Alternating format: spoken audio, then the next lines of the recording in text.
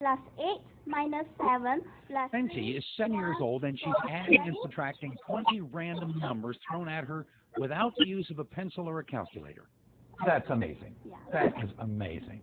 12 year old Alan, more mature, is adding and subtracting a string of three digit numbers. Wow, mm. that is exactly right. These children are bright, but they're not savants. You don't need to have any kind of mathematical training, just basic numbers 1 through 10.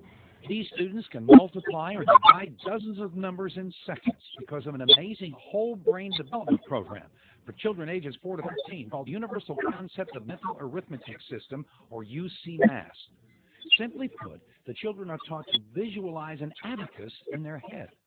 Seven is Congo, and eight is one seven nine two twenty nine thousand. Sharon, who enrolled in the UCMAS Memory Technique program for age 12 to adult, had 15 minutes to look at this board filled with random names.